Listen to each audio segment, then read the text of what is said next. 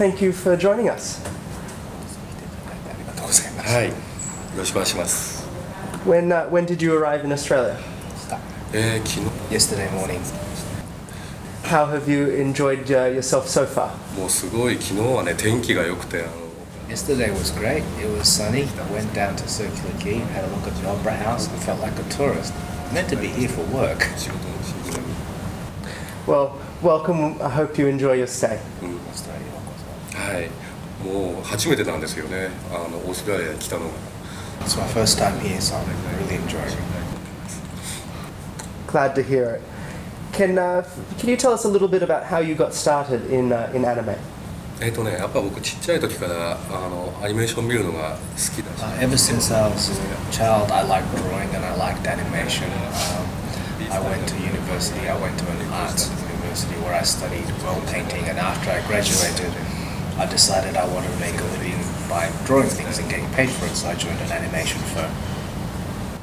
And in 2011, you opened your own studio. What, uh, what prompted you to, uh, to make that decision?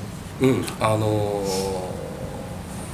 what I wanted to do was create a, a company that specialized in theatrical release animations specifically. Your current movie is uh, Wolf Children. Can you tell us uh, about that film? はい Uh, it's a movie um, about uh, a young woman who marries a wolf man and has children by the wolf man and raises the wolf man children. It's that kind of film. Sounds very imaginative and, uh, and entertaining.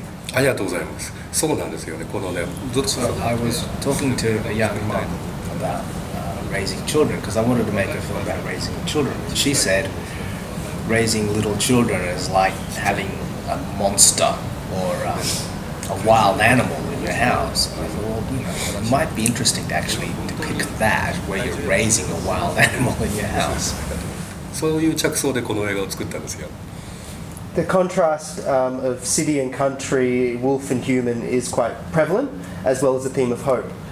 What was, uh, what was the message that you were uh, conveying, that you were hoping to convey in, in Wolf Children?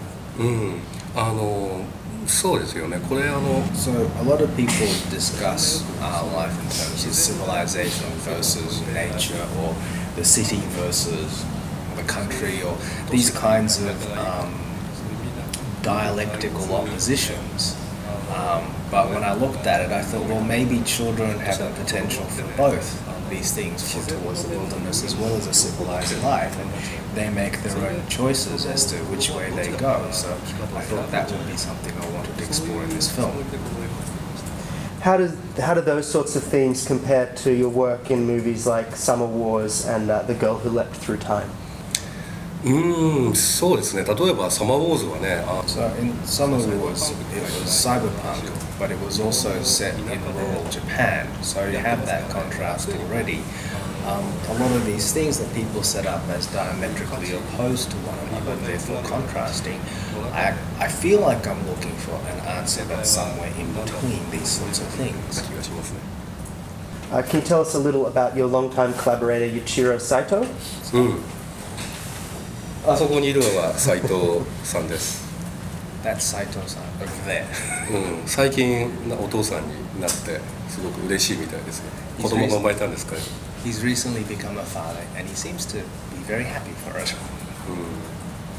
うん、うん、えっ、と斉藤雄一郎さんはあのスタジオ地図の社長ですね。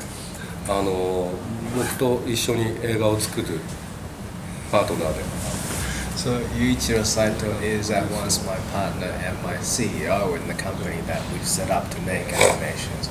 He's an excellent human being. I'd like to say this because he's here.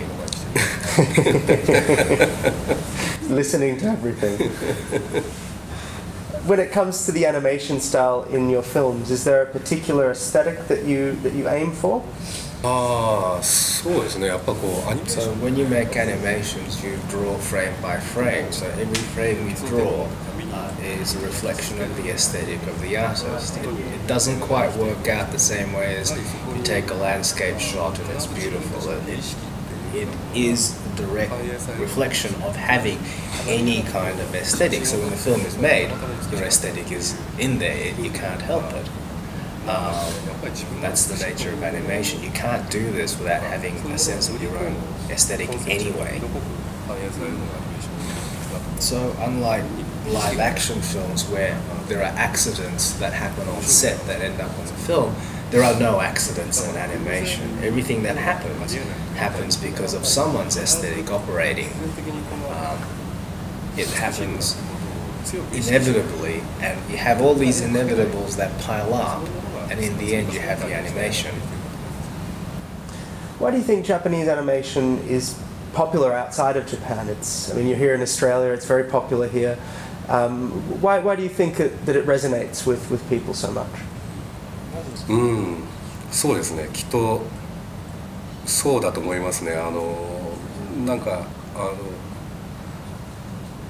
animation um, the world of animation is really big and you look at it um, in a global sense you know the way people make images move it, it actually draws a lot of um, influence from the history of art itself.